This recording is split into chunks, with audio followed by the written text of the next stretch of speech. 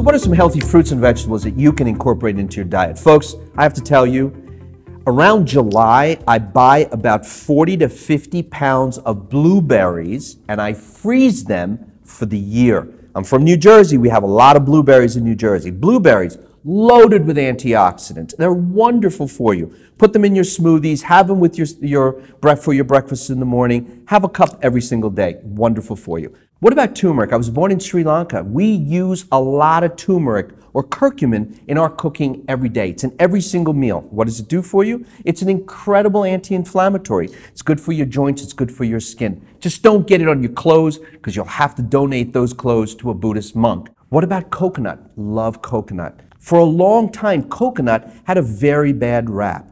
Coconut oil is a wonderful moisturizer. It is incredible the good fats that are in coconuts and coconut oil.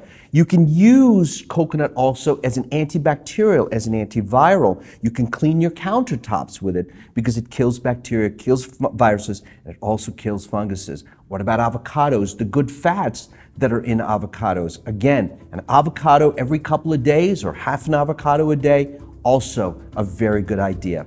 For Home and Lifestyle TV, I'm Dr. Derek De Silva, and may you always be blessed with good health.